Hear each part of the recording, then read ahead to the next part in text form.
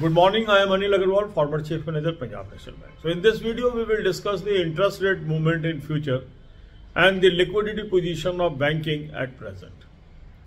Now, if we look at the January situation, the most banks borrowed from Reserve Bank of India. The liquidity which was used to be surplus till last year is now converting into deficit. And to the tune of 2 lakh 50,000 is the borrowing as on date from the Reserve Bank of India.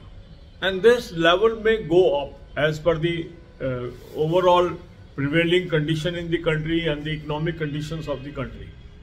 So what is the impact? When banks have to borrow, banks have to pay interest.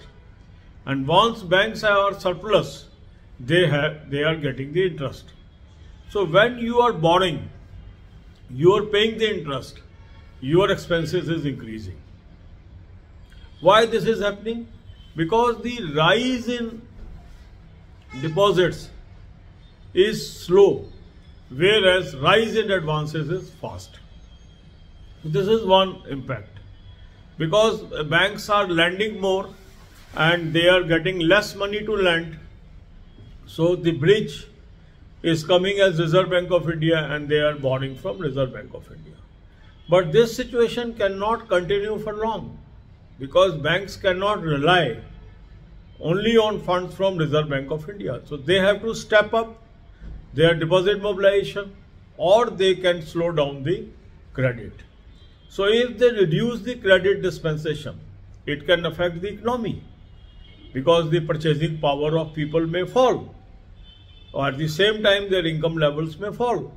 So they may not go aggressive as far as reduction of credit dispensation is concerned.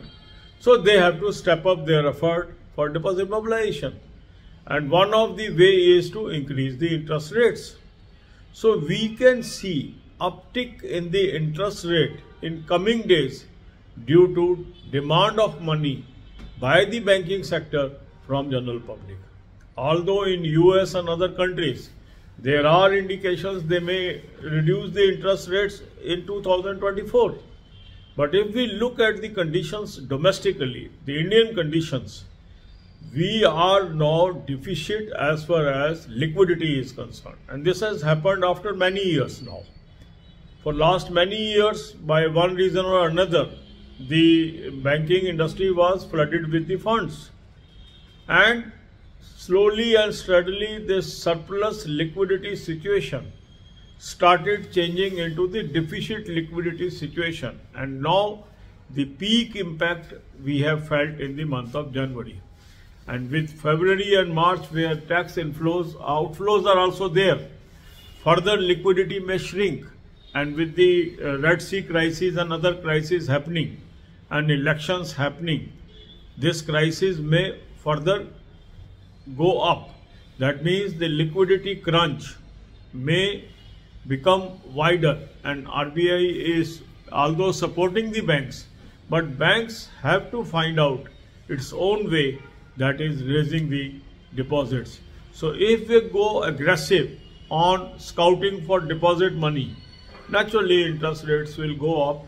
So my own perception says, my own experience says, in coming days we may see increase in interest rate in the banking industry, it may be for short period, maybe for long period, only time will tell. But the emerging scenario is interest rates may go up. For more and more information on banking and financial sector, lot of videos are there on this channel. Watch these videos and be knowledgeable. Link of these videos is available in description box and these are all available free of cost. God bless you all अब यही बातें हम हिंदी में करेंगे। Banking industry के अंदर interest rate का क्या सिनेरियो है? इस विषय पर हम इस वीडियो में चर्चा कर रहे हैं। इंटरेस्ट रेट्स आने वाले वक्त में बढ़ सकते हैं, ऐसी संभावना जताई जा रही है। इस चैनल पे बहुत सारे वीडियो बैंकिंग और फाइनेंस से रिलेटेड हैं, वो प्लेलिस्ट की शेप में हैं। उसका लिंक मैंने आपको डिस्क्रिप्शन बॉक्स में दे दिया, इन वीडियोस को देखिए और नॉलेज गेन करिए। अगर हम वर्तमान की स्थिति देखें तो जनवरी महीने के अंदर जो लिक्विडिटी है, वो डिफिशिट में चली गई है। अगर पिछले कई सालों की स्थिति देखें तो बैंकिंग इंडस्ट्री में लिक्विडिटी सरप्लस पे थी। धीरे धीरे ये ड्राई होती गई और जनवरी का पूरा महीना हम देखें तो डिफिशिट ही चल रहा है। उसके पीछे मुख्य कारण क्या है कि जो डिपॉजिट की ग्रोथ है, वो कम है एडवांसेस की ग्रोथ अच्छी है। हालाँकि प्रॉफिबिलिटी एंगल से इसको अच्छा माना जाता है कि अगर आप डिपॉजिट बढ़ रहे हैं तो आपको ब्याज ही देना है, और एडवांसेस बढ़ रहे हैं तो आपको आमदनी आ रही है तो आपकी प्रॉफिबिलिटी इंप्रूव होगी।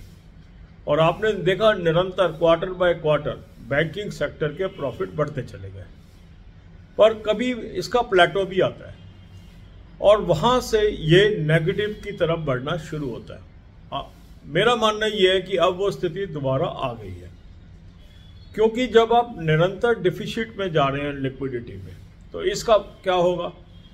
आप आरबीआई से बारो कर रहे हो। पहले आप आरबीआई को पैसा दे रहे थे वहाँ से ब्याज अर्जित कर रहे थे। अब आप आरबीआई से पैसा ले रहे हो तो वहाँ पर ब्याज दे रहे हो। हालाँकि इस पैसे को आप क्रेडिट के शेप में दे रहे हो मीन्स आप मतलब बैंक्स वहाँ से ब्याज अर्जित कर रहे हो। मगर अगर ये कंटिन्यू रहती है सिचुएशन जहाँ आपकी बैंकों की डिपॉजिट ग्रोथ कम रहती है और एडवांसेस की ग्रोथ अधिक रहती है तो उसमें दो सिनेरियो बनेंगे। पहला है डिपॉजिट मोबिलाइजेशन के एफर्ट बढ़ाने पड़ेंगे और उसमें एक एफर्ट होता है कि इंटरेस्ट रेट बढ़ा के पैसे को अट्रैक्ट किया जाए। तो एक चीज़ तो ये हो सकती है आने वाले वक्त में कि इंटरेस्ट रेट बढ़ने शुरू हो जाए और आपको अधिक ब्याज देके इस पैसे को लेना पड़े। ये ट्रेंड लंबे पीरियड तक चले या छोटे पीरियड तक चले, ये आने वाले दिन ही बताएँगे। दूसरा ये है कि जो आप क्रेडिट दे रहे हैं, उसको थोड़ा स्लो डाउन करना शुरू करें, क्योंकि आपके पास पैसे की कमी है। तो जो आप बहुत अग्रेसिव होकर क्रेडिट दे रहे हैं, जो बैंक्स अग्रेसिव होकर क्रेडिट दे रहे हैं, उसके अंदर हो सकता है धीरे धीरे कुछ कमी लाना शुरू करें। तो वहाँ पर उनकी इनकम इफ़ेक्ट होगी। तो एक तरफ़ जहाँ खर्चा बढ़ने की संभावना है आने वाले दिनों में, वहाँ वहाँ इनकम घटने की भी संभावना है और ये दोनों चीज़ बैंकिंग की प्रॉफिबिलिटी पर इफ़ेक्ट डालेंगे। तो जहाँ तक इंटरेस्ट रेट का मामला है, मेरा मानना यह है कि अभी आने वाले दिनों में भारत के अंदर इंटरेस्ट रेट बढ़ने चाहिए। क्योंकि जो बैंकों की जो भी सरप्लस थी, वो ऑलमोस्ट एब्जॉर्ब हो चुकी है। क्योंकि एक महीना निरंतर डिफिशिट रहना इस बात को साबित करता है कि अब डिफिशिट ही चलेगा आने वाले कुछ महीनों तक, जब तक इक्विलिब्रियम दोबारा अचीव नहीं होगा। और अगर ये डिफिशिट चलता है तो इसको ब्रिज करने का एक ही तरीका है डिपॉजिट्स को बढ़ाना और एडवांसेस को घटाना। और दोनों प्रॉफिटेबिलिटी के ऊपर प्रतिकूल प्रभाव डालेंगे। तो मेरा मानना यह है कि इंटरेस्ट रेट आने वाले वक्त में बढ़ेंगे। चाहे वो कम वक्त के लिए बढ़े, चाहे वो लंबे अवधि के लिए बढ़े, पर जो प्रेजेंट सिनेरियो है, जो आज का डेटा अगर हम रिज़र्व बैंक का देखते हैं, उससे ये निष्कर्ष निकलता है। इसीलिए मैंने ये वीडियो बनाई है ताकि आपको मैं बता दूँ कि अब ये जो चेंज ओवर फेस दोबारा आ गया है बैंकिंग के अंदर, जहाँ बैंकिंग में निरंतर प्रॉफिबिलिटी बढ़ती चली जा रही थी, हो सकता है आने वाले समय में हम प्रॉफिबिलिटी में फिर पुनः गिरावट देखनी शुरू करें। और इंटरेस्ट रेट साइकिल अपवर्ड की तरफ़ निरंतर बढ़ता चला जाए, जब तक इसमें ठहराव नहीं आता। God bless you all